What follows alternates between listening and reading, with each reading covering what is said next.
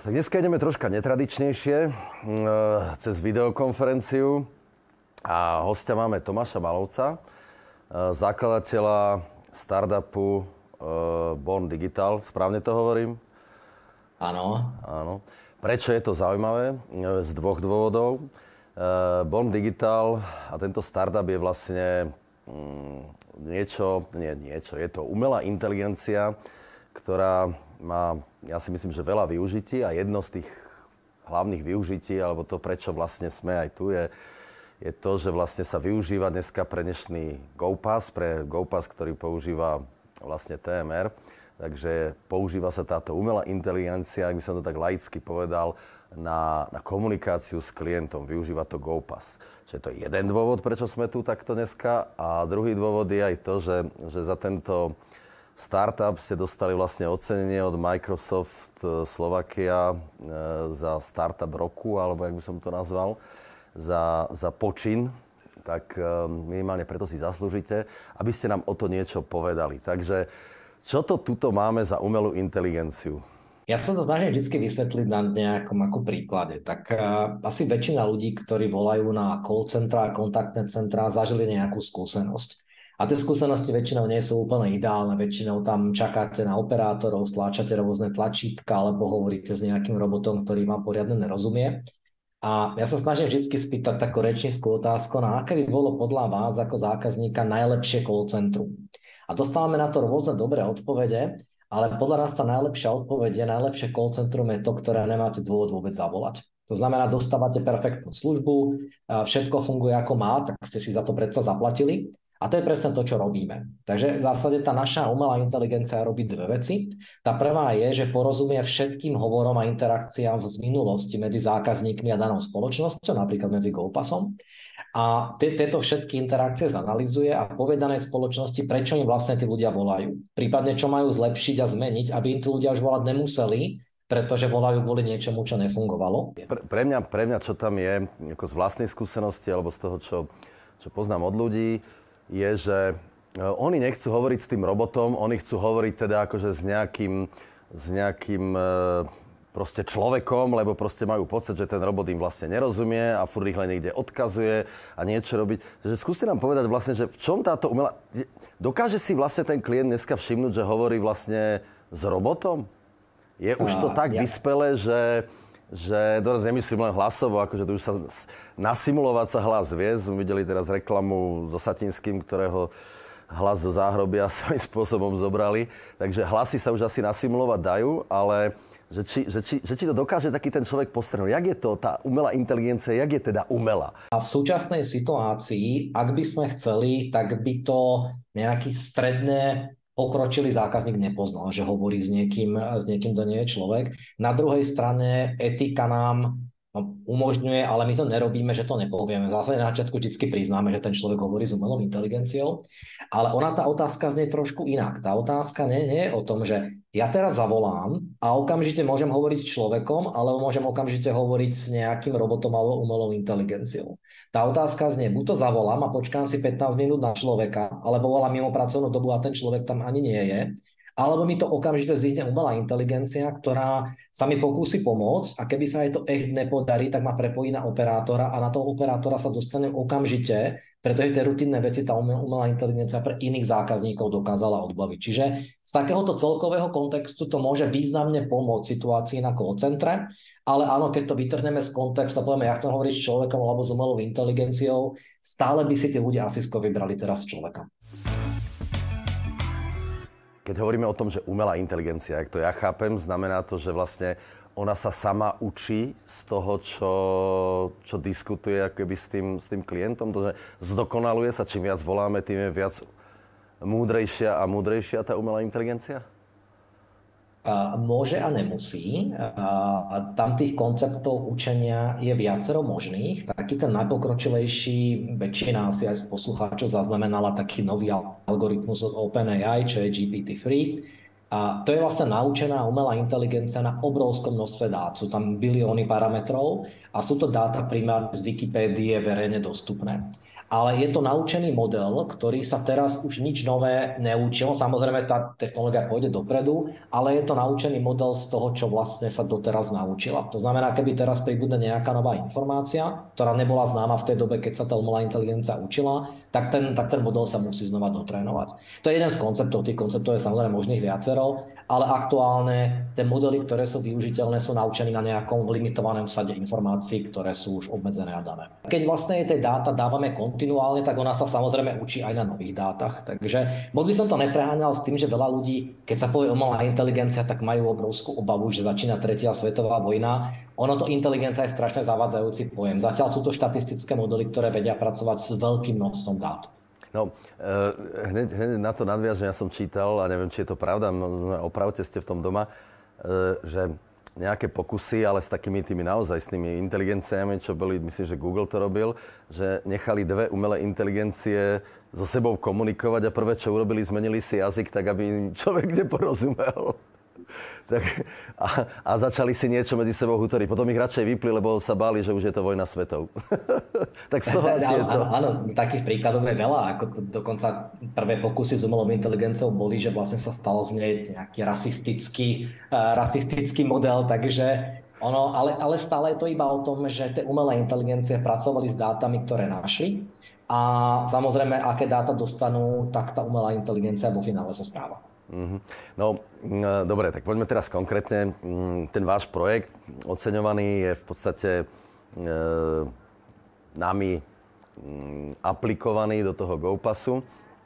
Čo to prakticky akoby znamená? To znamená, e, aké to má výhody, povedzme, pre toho klienta, keď bude hovoriť s tou umelou inteligenciou. E, to znamená, že je to, neviem, aký hádavý, tak akože ona mu bude ako poslušne odpovedať alebo budem mu pritakávať. Ako, má, to, má to nejakú výhodu takú pre toho, pre toho človeka? Lebo mňa byť posadiť ako na to call centrum, tak to by bola katastrofa. Ja som veľmi prchký na to. No ale to je, to je väčšina ľudí. To, to, väčšina poslucháčov si nevie predstaviť, aká je práca na call centre. Je, no, je, je to naozaj ako ťažká práca a treba pracovať s ľuďmi, ktorí sú rôzne, rôznych vypetých situáciách. Není to rozhodne jednoduché. Ja možno poviem tak, ten prvý krok, niekoľko výhod. Ten prvý krok je najlepšia umelá inteligencia taká, o ktorej neviete.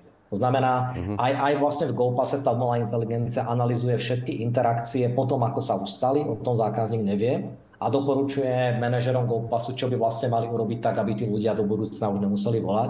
Že to je najlepšia umelá inteligencia, o ktorej neviete a ktorá sa postará o nejaké neviditeľné zlepšenie.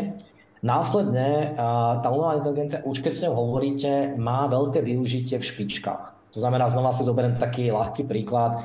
Fúka silný vietor, lanovka nebude ťahať. Teraz vy potrebujete skontaktovať veľké množstvo ľudí, tak aby tam zbytočne nechodili tak áno, môžu to robiť ľudia, ktorí ale nemáte na takúto situáciu pripravení, že sedia za telefónmi, alebo tá umelá inteligencia zavolá behom pol hodiny úplne všetkých a jedno, koľko tých ľudí bolo, vysvetlí im situáciu, poviem, čo majú robiť, prípadne ako majú ďalej postupovať, porozumejú nejaké rôzne typické dotazy a, a vo finále sa s nimi porozpráva. Čiže v tých špičkách je to relatívne ako vhodná technológia.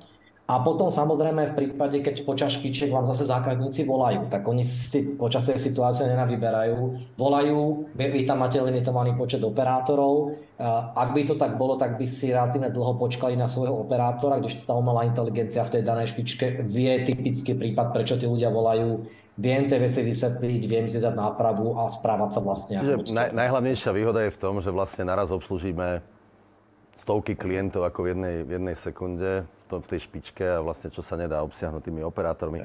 Ale tu ešte jedna taká, taká téma, že vlastne cieľom do budúcna je také niečo, že vlastne ten klient by si mal vytvoriť takého vlastného akoby hlasového asistenta. Nie? Že, jednak, že či by to malo byť žena, hrubší hlas, tenší hlas, že, že má, má tu možnosť tej, tej voľby, že, že ja keď chcem, tak chcem hovoriť s tým mojim, hej. Nazvem si ho Jožo. ja chcem hovoriť s tým Jožom. Lebo ten mi dobre poradil, ten mi, ten mi odpovedal všetko, čo bolo. Je, je, toto, je toto smer? Môžeme, môžeme takto s týmto počítať? Uh, no, znova to, má, znova to má dva aspekty. Jeden je ten, že z pohľadu také gamifikácie alebo z pohľadu atraktivity pre ľudí to zmysel môže mať, že vy by ste chceli hovoriť s Jožom. Ja si skôr myslím, že by ste chceli hovoriť s Jozefínom ako s Jožom, ale, ale možno vaša manželka by chcela hovoriť s Jožom, ktorý by mal ako mužný hlas a, a, a určite by ju veľmi dobre, určite veľmi dobre pomohol. A, ale na konci dňa stále za tým Jožom alebo Jozefínom bude tá sama inteligencia, ktorá iba hovorí iným hlasom. Takže technologicky to, čo hovoríte, je veľmi dobre teraz no, ale bežné. Viete, kde, kde smerujem, že vlastne ja si to už tam vyklikám, teda ja chcem tú Jozefínu, hej, chcem ju, toto nie je troška jemnejší hlasok, to, že to, to, si, to si nastavím a bude mi tam príjemný zavolať. Dokonca ja by som povedal, ja by som tak akože večer jej zavolal a povedal, ja neviem, chcem ísť lyžovať, nechcem. Ah čo myslíš, ako oplatí sa, nebude veľa ľudí, toto, no tak nech so mnou troška pokeca, nech ma presvedčí, že vlastne poď, vieš čo, nebude toto, áno, troška mrzne, že, že taký, taký môj kamoš na sparring, myslíte si, že tam to, to, to môžeme dospieť?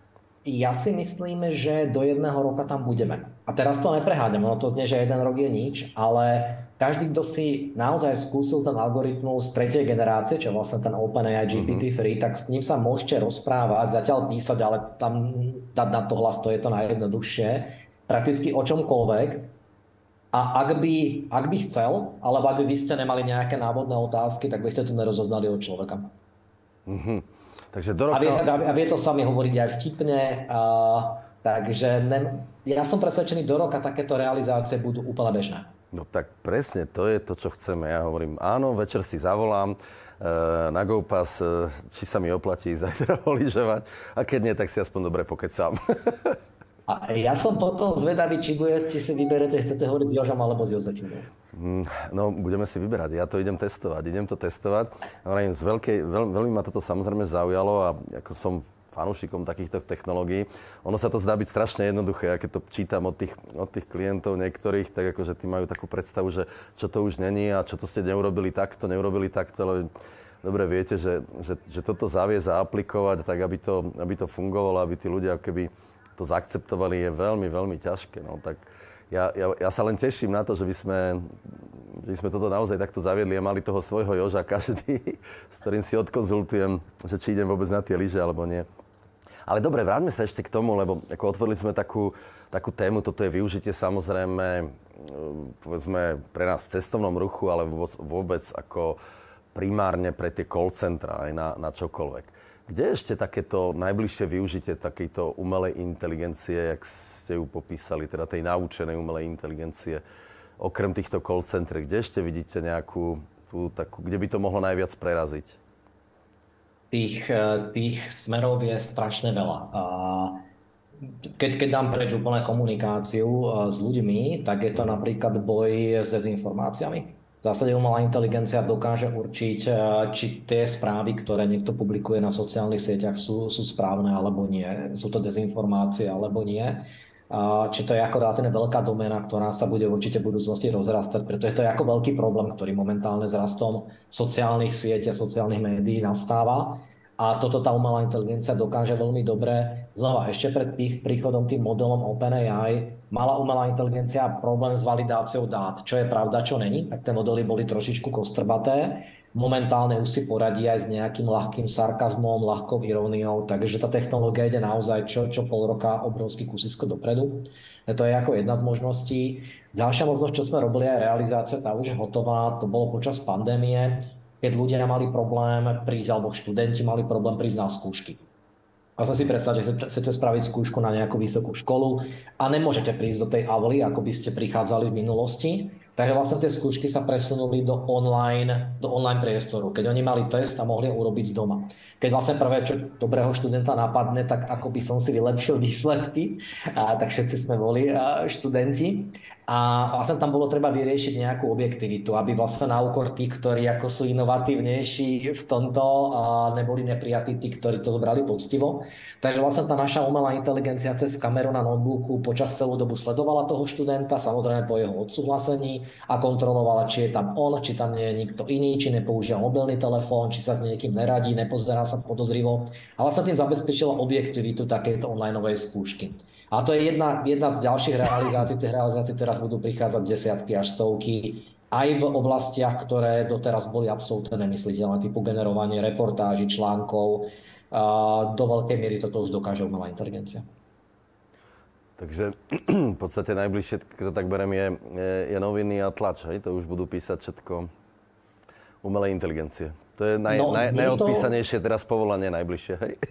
No, znie to, znie to vtipne, ale naozaj taký ako všeobecný faktický text bez nejakej atraktivity, bez nejakého veľkého vtipu dokáže umelá inteligencia vygenerovať teraz. A veľmi pekne, že by ste to nepoznali, že to nenapísal človek, ale samozrejme ten človek tam potom musí pridať nejakú investigatívu, nejakú zábavu, nejakú svoju osobnosť a vlastne tá umelá inteligencia mu pomôže napísať 90% toho článku faktic, z faktického pohľadu. Keď je tá umelá inteligencia inteligencia, no tak si tie fakty overí ďaleko lepšie a, a, a dôslednejšie ako ten novinár, s čím sa stretávame dennodenne, že proste novinári častokrát si to zoberú tak po povrchu a urobia si tam nejaký vlastný úsudok. Že to umelá inteligencia pôjde do dôsledkov. Prejde celý internet, preskúma a napíše fakty. Nie? Takže... A tak to je. Áno.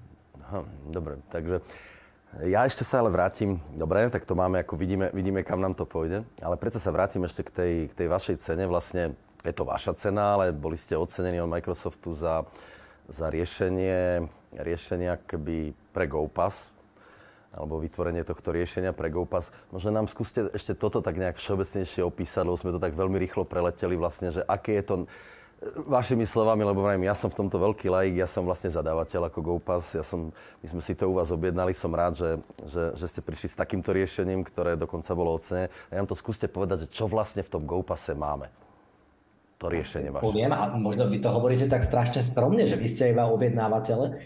My to vždycky berieme tak, že my dodávame polovicu z toho, výsledku a to je technológia a nejaké návrhy. Zákazník dodáva to, čo potrebuje a to, aby to naozaj sa zrealizovalo. Čiže aj to ocenenie, ono to nebolo pre Born Digital, bolo to pre GoPass plus Born Digital a vlastne bez zákazníkov by sme nikdy takéto riešenie neurobili. Takže to by som príliš skromnosti niekedy možno až škodí.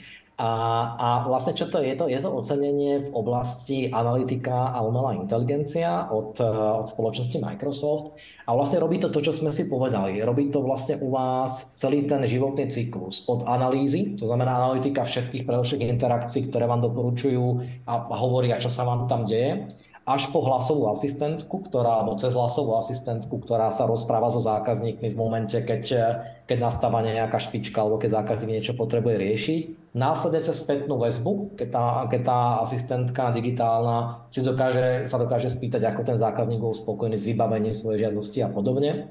A vlastne potom až cez nejaké odchodzie volania, keď vy potrebujete notifikovať zákazníkov o nejakej udalosti, na ktorú on by mal nejako reagovať. Takže u vás je to riešenie vlastne najvyspelejšie možné je to kombinácia všetkých technológií, ktoré, s ktorými sa vo finále dosahuje ten finálny výsledok.